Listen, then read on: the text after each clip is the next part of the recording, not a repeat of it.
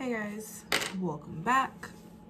So we're gonna do a makeup tutorial today using a few new products, specifically my new child. Um, anybody who knows me in person knows that when this palette, palette got announced, I screamed and knew that immediately I needed it.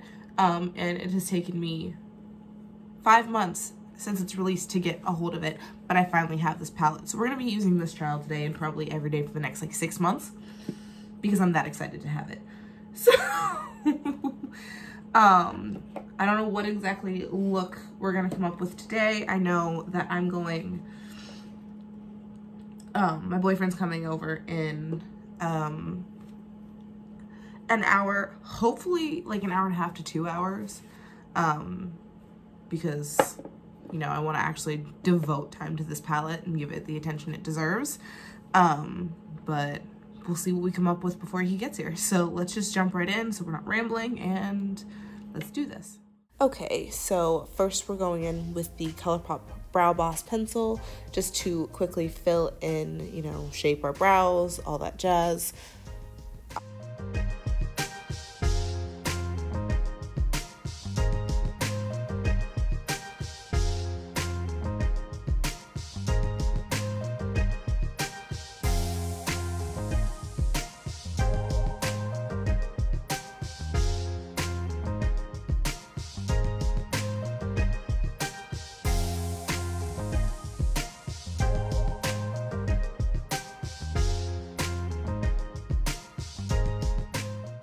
All right, and then here we are just filling um, our brows in with powder. Um, I've told you guys before, but I just use a shade from the Tartelette and Bloom palette as my brow powder since my brows are naturally pretty dark.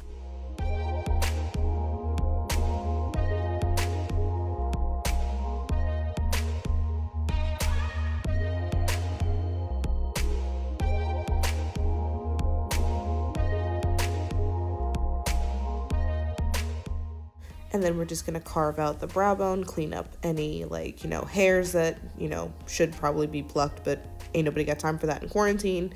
Um, I'm just using the NYX eyeshadow base in nude, but I've used that concealer and pretty much any other product that, you know, will do the job.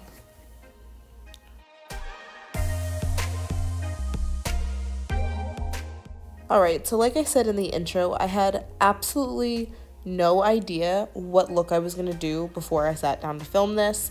Um, as you'll see later in the outro, I am absolutely obsessed with the look that I came up with. Um, but this is just me staring at shades, trying to figure out what the actual hell I'm going to do. Because I don't play around with color very often, but I had to do something for this one. Alright, so we started pretty simple. Obviously, I needed to do a transition shade, so we picked up the shade Tanacon and just threw that um, all throughout our crease, pretty much just creating a base um, while I was still trying to figure out what other colors we were to dive into. They all looked so fun that I it was so hard for me to decide.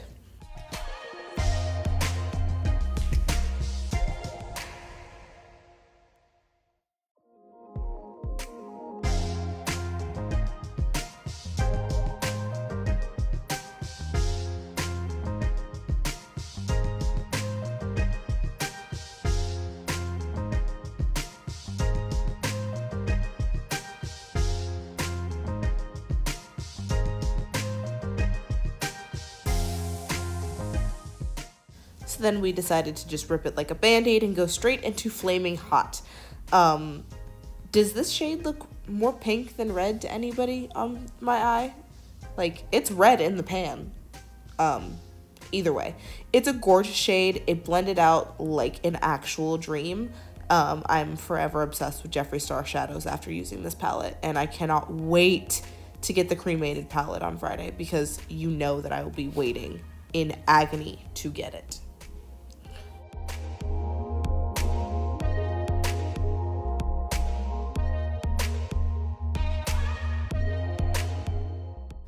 So the shape that I create on my eye, I don't know how I decided this is what we were going to do. Um, but really, I just tried to drag it out um, past my brow bone just a little, trying to basically make it look like an exaggerated wing um, so that we could do a cut crease because I figured it's Jeffree Star. I might as well try and do a cut crease. I don't usually do them, so I figured let's go for it.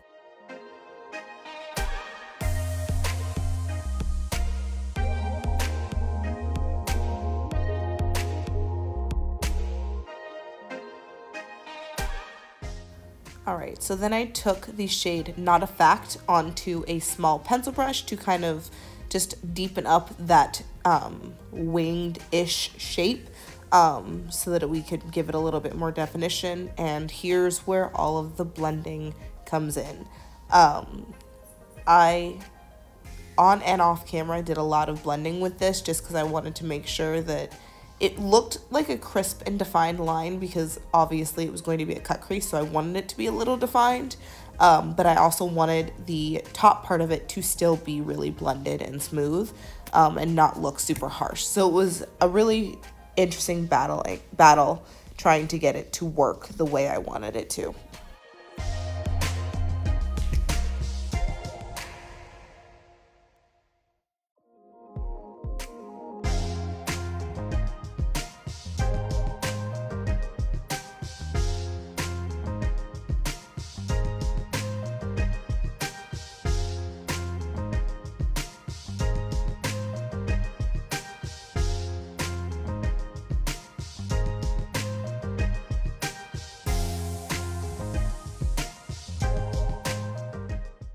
And then to actually do the cut crease, I'm gonna use that same NYX eyeshadow base and carve out that crease.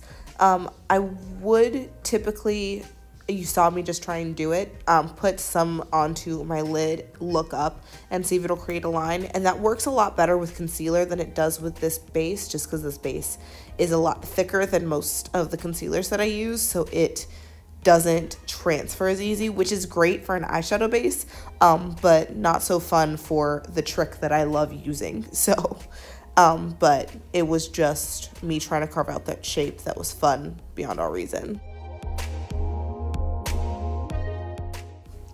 So then we're gonna jump into the shade Food Videos and use that for our lid color. I don't know why this is the color that I chose other than probably because it's the reason that I started watching Shane Dawson was food videos. So when this color got decided, it became hands down my favorite color in the palette just because it was special to my heart.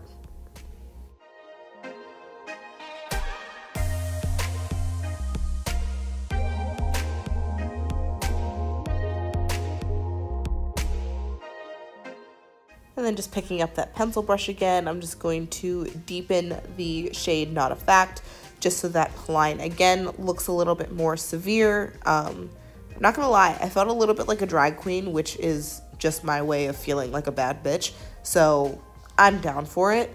Uh, this look was, is probably my favorite look I've ever done.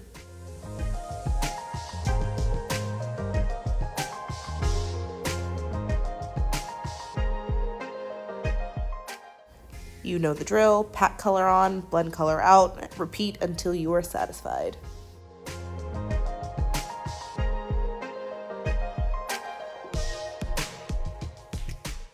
Literally the thought going through my head, do I dare? Do I dare add glitter and potentially ruin everything that I just fell in love with? We're doing it.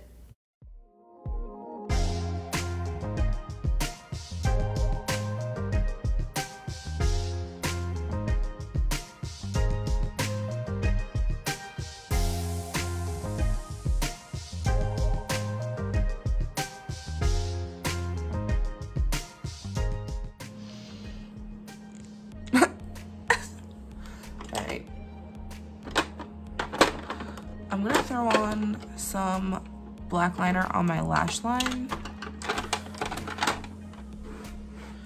And then we'll go off camera, do the side, and then we'll do base. But I'm like high-key obsessed.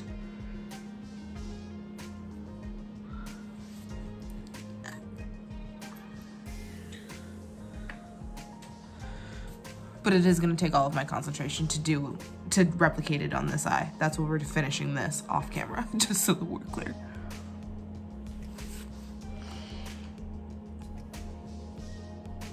Y'all don't even want to know how difficult it was to try and keep this eye in frame, and that's why it immediately stopped.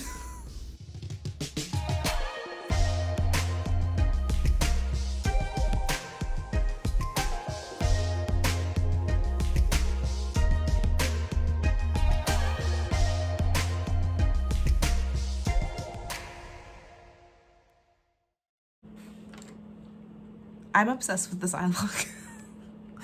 Which, this is a lot for a casual Monday afternoon, not gonna lie to you. But, I'm a lot. So, um... I don't have any words. I don't have any words. Um, so let's do lashes and then we'll do base. Um, I could use a dramatic lash. I do have the Kiss Falscara lashes to try out with you guys, but I kind of want to do those on a much simpler eye look just because I don't want to get frustrated with how, with me not knowing how to put them on um, with a look that I am this obsessed with. So I'm going to do my tried and true. I'm going to do Ardell Demi Wispies. Um, and then we're going to do base. But, I mean, I'm freaking obsessed. Yeah. All right, first we're gonna do mascara. Like I said, I'm using the Ardell Demi Wispies. Uh, I can't remember exactly what mascara it is off the top of my head, but it will be linked down in the bottom bar. I'm pretty sure it's the NYX mascara the newer one in the pink tube. I don't remember what the name of it is, but I, like I said, it'll be in the bottom bar for you guys.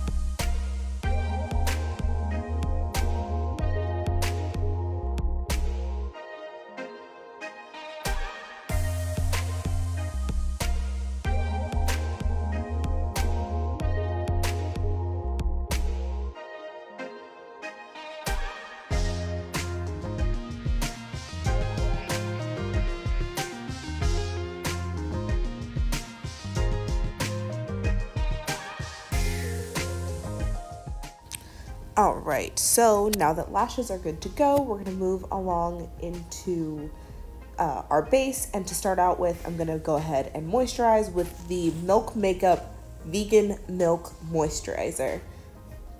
How many times can you say milk?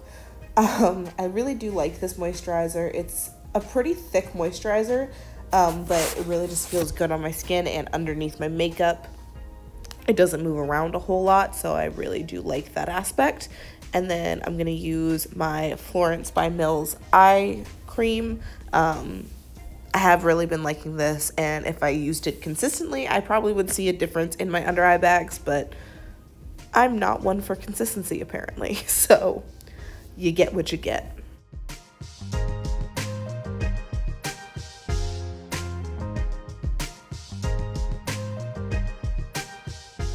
And then no surprise, we're using the Milk Hydro Grip primer. It's my favorite primer, a holy grail. I can't say any enough good things about it.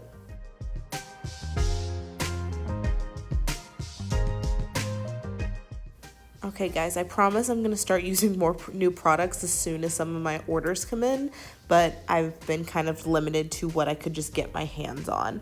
Um, so this is the Dose of Colors Meet Your Hue foundation, and I will be using the same uh, concealer, the Dose of Colors Meet Your Hue concealer, here in a minute. I am proud to say that the birthday excursion and the kayaking I just did do mean that this foundation does actually match my skin. Finally, it's no longer too dark for your girl. You have no idea how happy I am about that.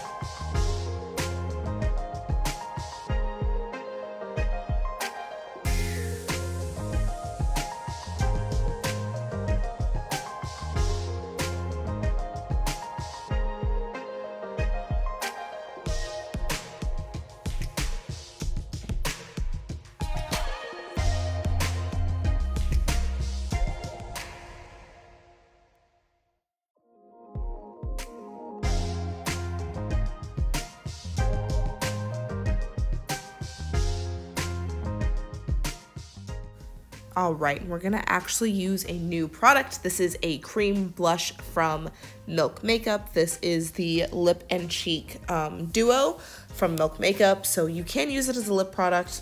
I don't know how I feel about that just because it's not my shade. Um, and then we're gonna go in with powder, I think it is. We're doing powder next. Yeah, I'm looking for a powder brush. We're doing powder next.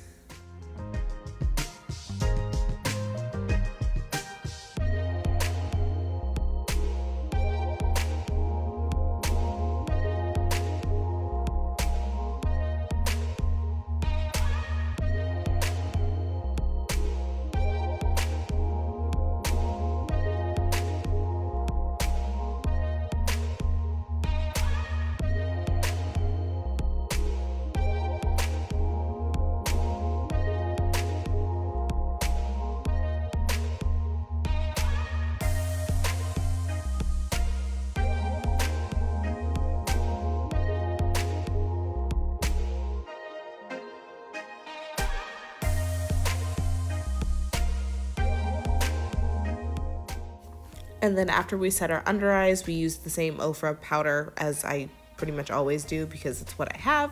Um, we're actually gonna set our face with another new product. So this is the Makeup Forever Matte Velvet Skin Blurring Powder Foundation. God, that's a mouthful.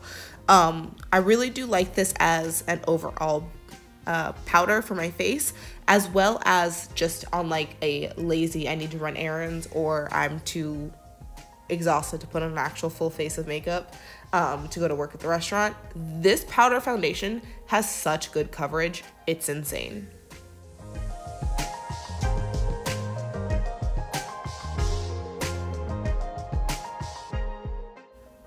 Morphe bronzer in the Bronzer shade Vlogger, as per usual.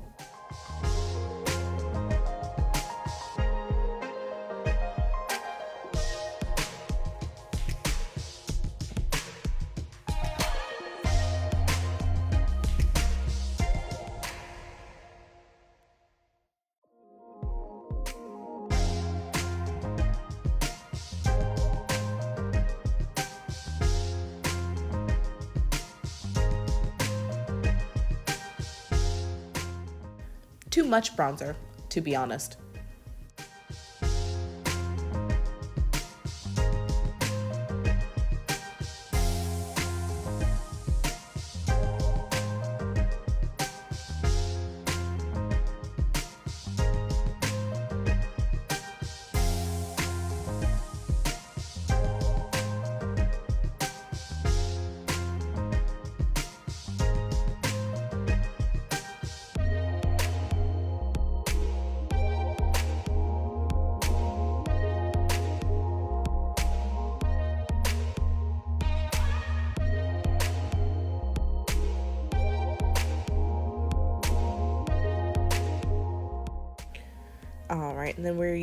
The Morphe Peach Blush Trio. I forget what the actual name of this is. I've had it for God knows how long. The label's fallen off the back, um, but this is my favorite blush trio of all time. I'm using the center one, which is the peachier of the two, and then the slightly more um, brown looking one.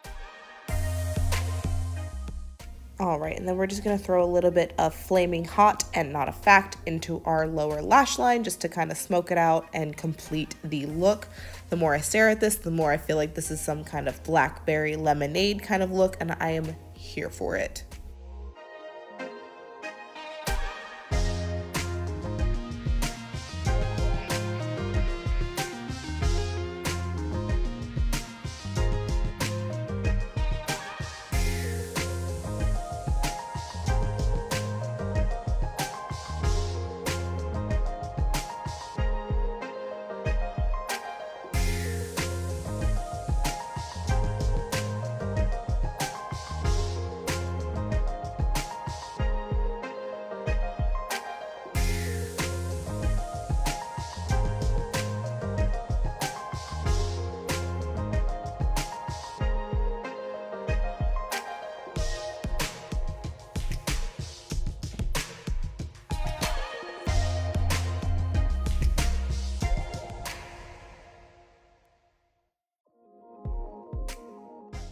This is how you know I really can't help myself. So I'm just taking the shade Ranch from the Conspiracy palette again, and I'm just running that through my brow bone just to, you know, add a little bit of extra highlight. I told y'all I was feeling the drag queen vibes, and I was just fully embracing it, um, especially since I knew I was throwing on a wig and channeling witch vibes later. So I was just going for the whole shebang at this point.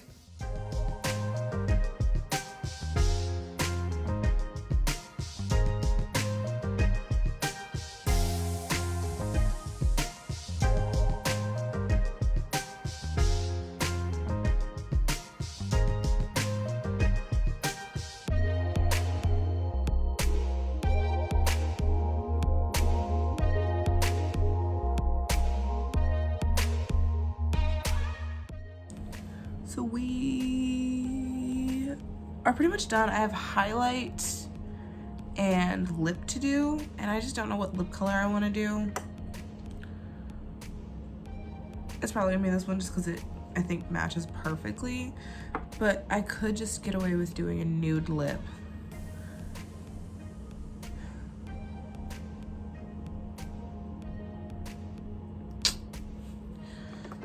Okay gonna do combo. So I'm gonna do the ColourPop lip, um, lip liner in BFF.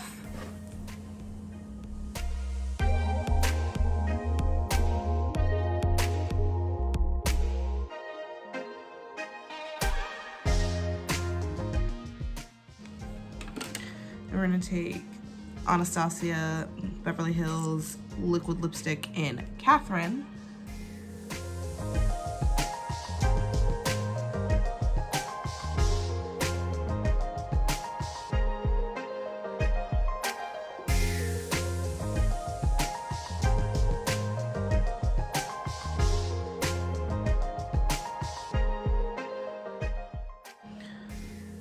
Cross-eyed staring at your, your lips trying to put lipstick on in these lights. I, I have to change the light bulbs in here again because I can't. It's so dark on the side of my face. I bought a selfie light and it just doesn't stay charged long enough to film with, which is just sad, truthfully. And then I'm just taking my ColourPop So Juicy Gloss. Again, don't know what color this is.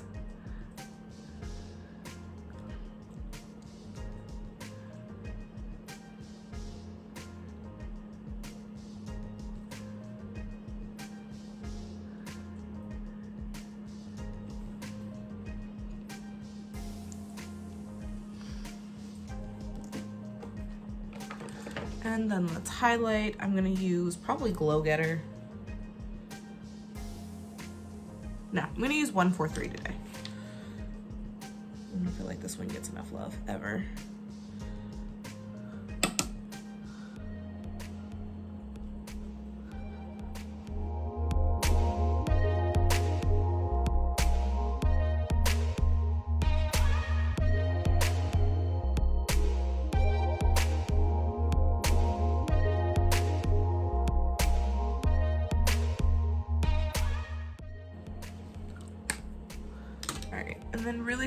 Just gonna take a little bit of the shade Ranch, the shade that we put in our brow bone, and put that just into my inner corner. Cause I just, I don't think it's missing something. I just feel we're already being extra. I Might as well take it that extra step.